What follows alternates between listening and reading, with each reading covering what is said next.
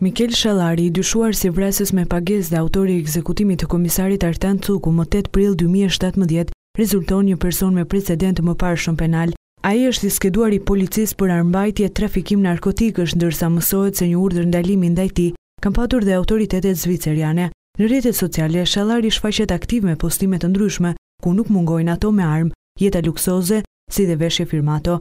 Por si e përshkruan njëzet e katër vjeçari veten dhe me se merret? Ai shkruan punonte paradite pushim dhe pasdite pa punë, natën pa gjumë, ndërsa në lidhje me studimet, Shallari shkruan, Asgjë s'është e pamundur. Ende nuk dihet se Shallari në Tiranë qëndronte si student aty, dhe ku banonte pranë Qytet Studenti apo për të fshehur gjurmët e aktivitetit të tij kriminal. Mikel Shallari është pjesëtari një familje me katër persona, me prindërit e tij dhe motrën e cila po ashtu jeton në Tiranë si studente. Mikel Shallari u ndalua mbrëmjen e djeshme pranë pallatit me shigjeta në Tiranë, teksa udhëtonte në automjetin e tij së bashku me të dashurën dhe një shok të tij të cilët po ashtu mbahen të shoqëruar në ambientet e Policisë së Tiranës.